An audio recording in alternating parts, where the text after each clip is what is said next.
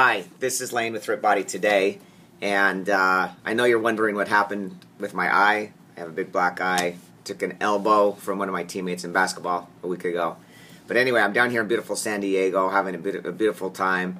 And, you know, it's so important that when you travel, that you make sure that you got the right things with you. Because uh, when you're starving, it's so easy to break down and go for sugar you know, and go for all that bad bad garbage that that hurts your body. So you can still stay young, you can still stay fit when you travel. So you can do workouts in your in your workout in your hotel room.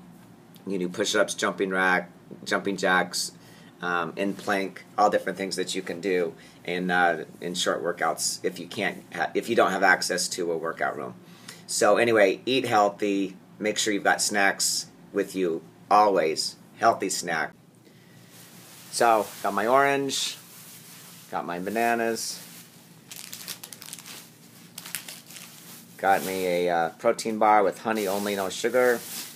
I got raw cashews, some apples, and some raw Brazilian nuts, and my trusty water.